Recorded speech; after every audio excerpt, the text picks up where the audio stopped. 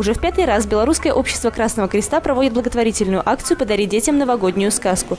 В двух крупных торговых центрах города, Центральном универмаге и супермаркете «Микс» были установлены копилки для сбора пожертвований на новогодние подарки и сувениры. В прошлом году акция прошла удачно, было собрано 26 миллионов белорусских рублей. Мероприятия 2013 года также увенчались успехом. Сегодня последний день благотворительной новогодней акции «Подарите детям новогоднюю сказку».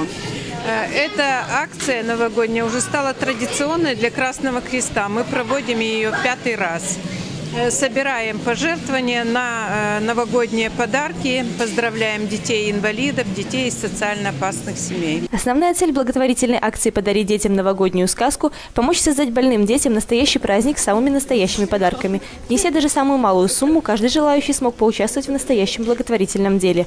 Волонтеры Белорусского общества Красного Креста уверены, что такое благородное дело не должно оставаться без внимания общественности. Во-первых, волонтерство – это прежде всего бескорыстие, оно ничем не оплачивается, и как-то хочется выразить свою доброту, свою доброжелательность другим людям, не только тем, кто тебе дорог, близок, но и другим детям также.